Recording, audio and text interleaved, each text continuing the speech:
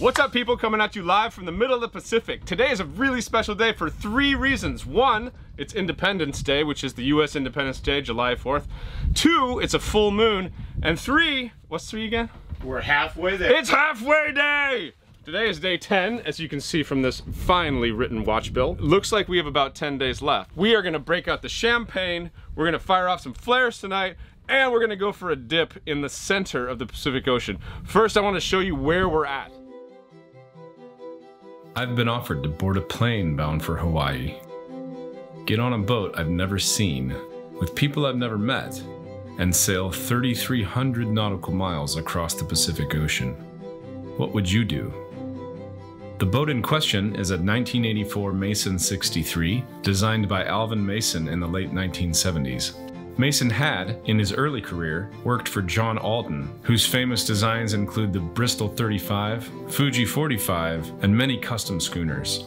Having also been the head draftsman for Sparkman Stevens, he took many of the design elements from the yachts he penned over his career and put them into his legacy boat, the Mason 63. The crew includes Mark, the owner of the boat, his daughter Erin, her boyfriend Jake, and my buddy Ryan. Yeah, okay, I know one of them. Needless to say, after 30,000 miles on a catamaran, I was more than a bit intrigued to see how this beautiful yacht would handle herself in the deep blue.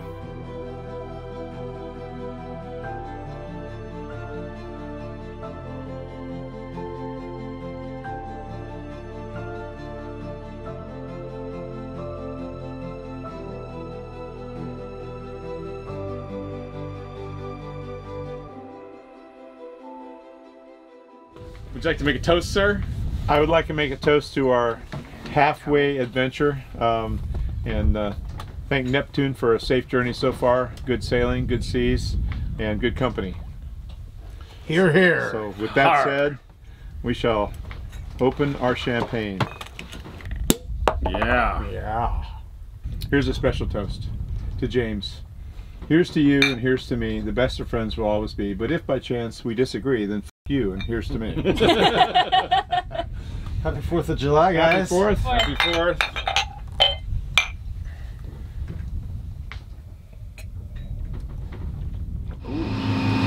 Okay, it's day 11.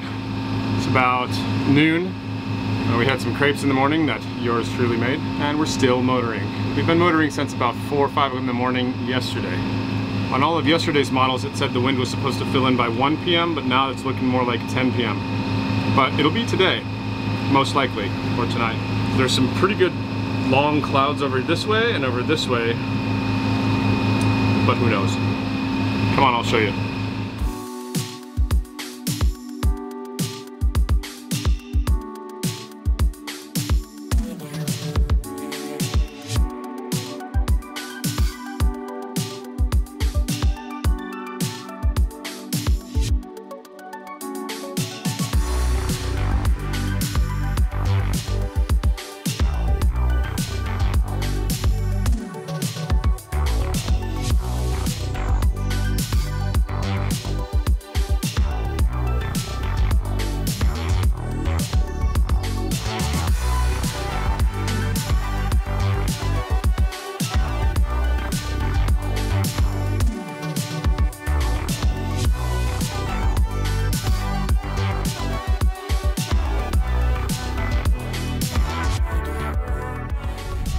Yourself a standard piece of rope.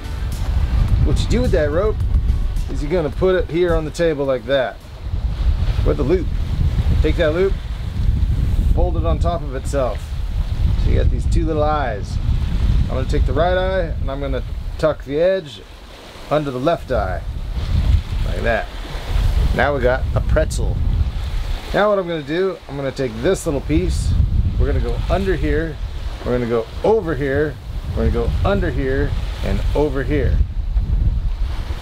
So, under here,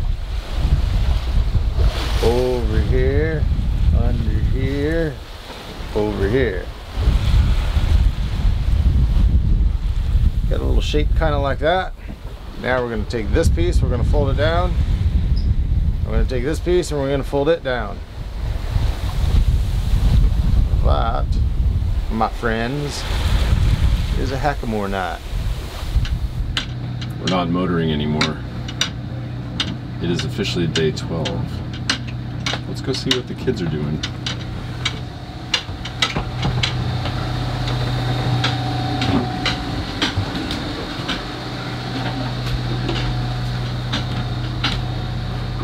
Oh. Aw. I caught a tender moment.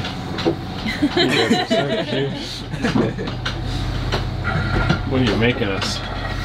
eggs Oh, open the oven, yeah. Oven. and biscuits. Yeah, you want to see the inside of the oven? Yeah. I can't get it open. How does it work? Biscuits. What? Biscuits and gravy. And leftover potatoes. And brownies. And brownies. Dude, you guys rock. How long have you been in here cooking? Since 8.30. Well, nice job. Probably noon right now, I don't know. Four, four course breakfast, dude. Yeah, they've been down there digging around for a couple hours. Dude, did you see what they made? Biscuits and gravy and Yeah. brownies and and pancakes and potatoes? No.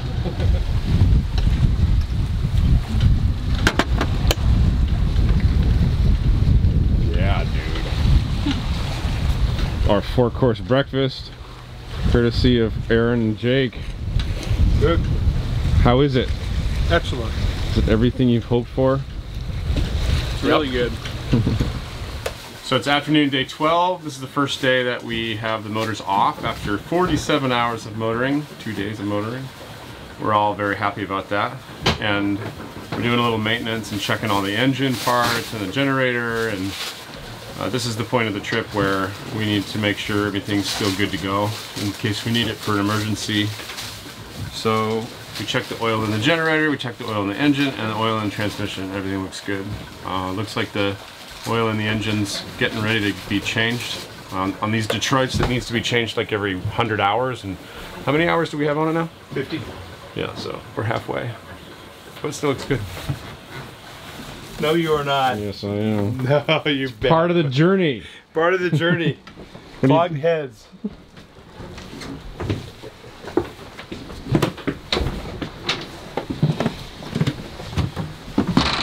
That's gross.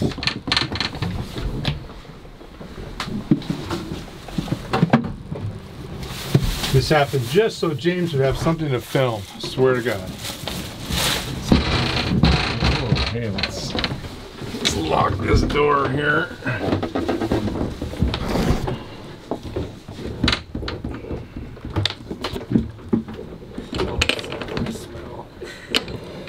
It's too bad the smell doesn't come through the camera. Yeah, there you go. Okay, I'll take a shower.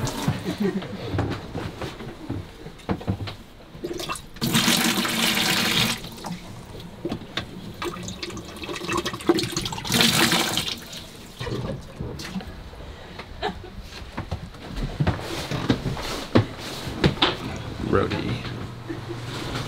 Let's go see what the kids are doing.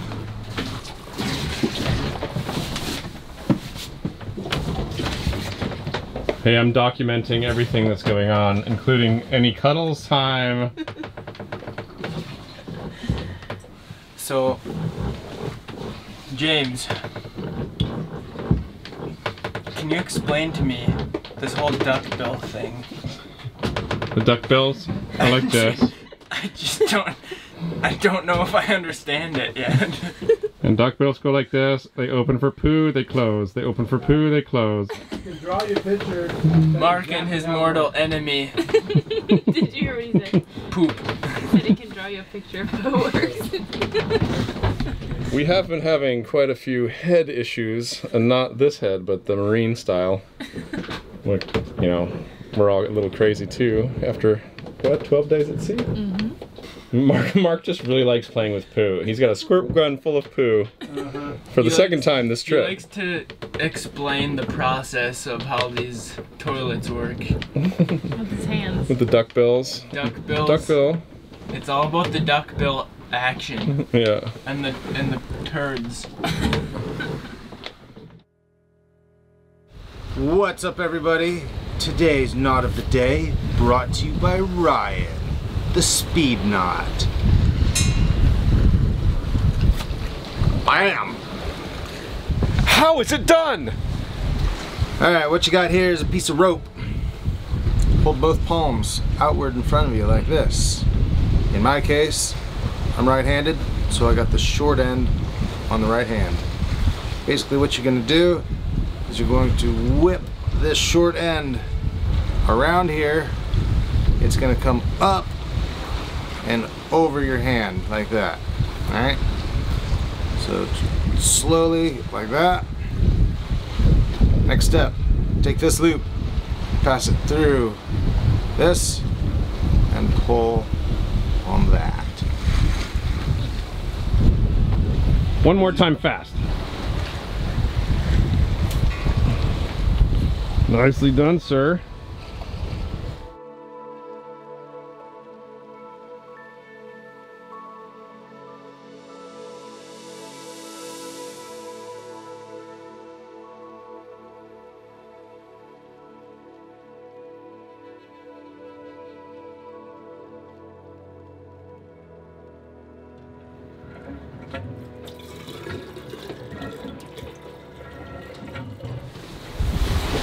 Okay, it's 4 a.m. Uh, it's day 13, I think, and it's wet. Uh, it's cold. We're having a following wind, so we're going as, as far downwind as we can. And it is cold, man. It's cold, cold even in this stuff. We just drive the boat. I came up one wash about a half an hour ago, and Jake and I jibed, and now we're making um, like 150, 160 good, which is nowhere near where we want to be. We want to go to 103, and we can either make 050 or 150 good. So it's pretty much the exact wrong position for the wind for us right now. But as we get farther south, we'll be able to turn to the east and go towards California. So I don't like sailing like this.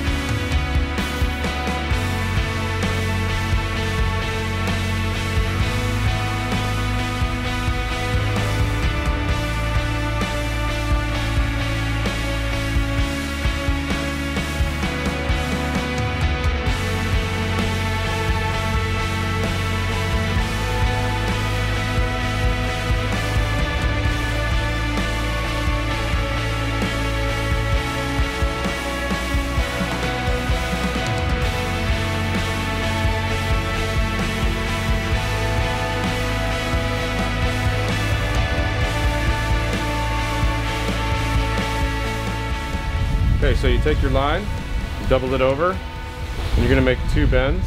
One, two. So you've got this kind of shape, like an eight. Now, if this is a snowman, and here's his legs, here's his body, and here's his head, you're gonna take his head and flip it underneath his legs and through his body. That'll give you a knot with three bites on it. One, two, three. So it doesn't matter which way you pull it, you can always get it out. So, it's later in the day now, and my coat is off. Not because it's warm. Well, yeah, it is a little bit bit warmer, and we've been messing with the water maker. We've been running the generator. We're doing like eight and a half knots surfing down waves right towards San Francisco for the first time in the whole trip. We're First trip, yep, we're going. We're going the right way. Boat's handling really, really well. I'm really uh, pleasantly surprised with the hull shape surfing down waves. She doesn't like the point and she doesn't like to go downwind, but 60 degrees off the wind is what she really likes. That's her sweet spot. That's her fastest point of attack. And as you can see from the current speed, she's a demon. this is this is catamaran speeds. All right, it's end of day 13. We're eating some albacore tuna we caught the other day Delicious. with some rice. The sunset behind us is super pretty. It's a little bit stormy. We're, we're doing like between seven and a half and eight and a half knots, which is pretty cool on a monohull. Not I- too bad. I didn't film much today, but what I did film was the biggest waves we've seen so far. So overall, we're over halfway. We could be there in seven days. Like I think we're gonna arrive on the day 20 or 21. Oh, And nice. I've had a great passage so far. It's been a good one. Lots of fun. Yeah, everybody's cool. We've been eating really well. Uh, the weather has been okay. The it's been cold though. We had to go all the way up to 48 degrees north, which is super far north. We're basically at the same uh, latitude as Seattle. And now we got to turn around and go all the way back to San Fran. So that's where we're at now. Only had the motor for two days. Yeah. That wasn't too bad. Nice to be sailing again, Yeah. for sure. Everybody's in foulies and cold weather gear. It's cold. It's cold. Yeah. But hey, it's not raining, so Yeah. that makes me happy. Last night was so cold. Oh my god. It was it was like the coldest night we've had so far and raining at our backs.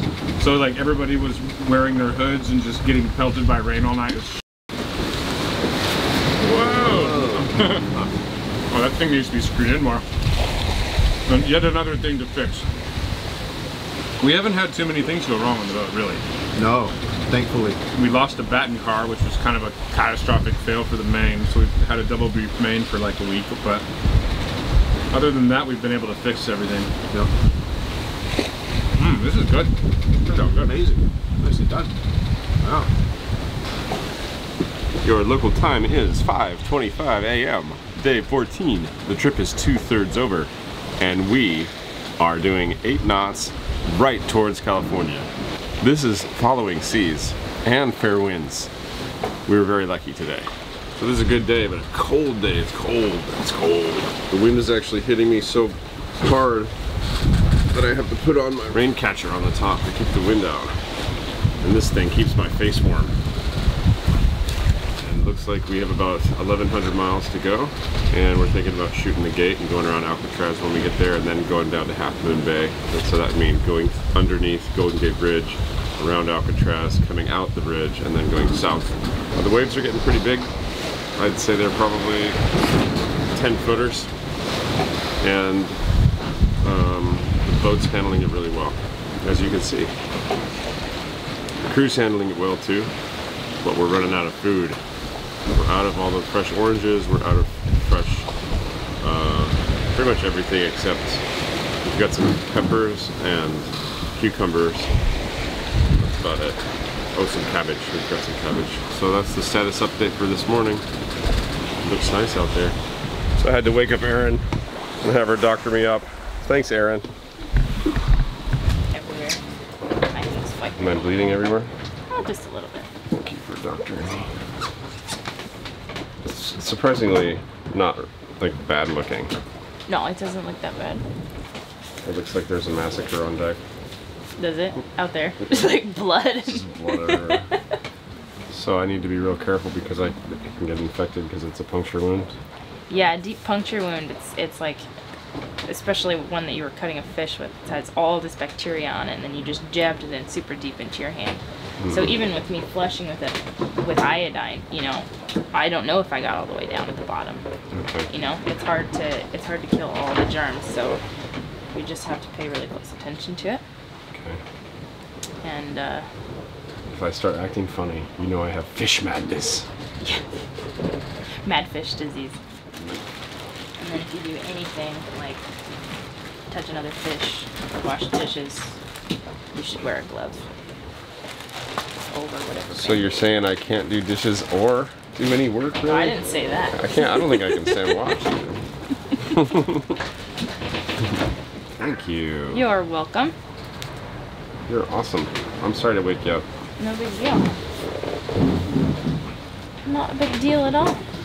Dr. Erin, give me a hug. Thanks. Ah, I feel so much better now. Good. All right, our next knot is a sheet bend. What you do is you take your sheet, your towel or your sail sheet, whatever it may be, lay it down, put your line on top of it, then you take your sheet, you flip it over the line, and you pick it all up. Just like that. Now you take your line, you go underneath the infinite part of the line, you wrap it around, and up and through. Now, pull it tight, and you got yourself a sheet that pulls nice and tight. Okay, it is day 15. It's 5 p.m. The wind's been ripping all day. We broke up the plans for the boat today. We've read a lot today. You've been on watch like all day. Seems that way. Uh, we woke up and had to tend the sails. Me and Erin were like sail masters last night, all night long. Sails up, sails down. Jib out, jib in. Jibe, jibe the other way. it was interesting. Didn't get any video of that. It was just too crazy. The wind's been about 20 knots all day, which is actually really comfortable for this boat. It's just kind of a lot of wind. It's a lot to deal with. I'm gonna show you guys some of the sights to see on the ocean. Just like yesterday. It's the same as yesterday.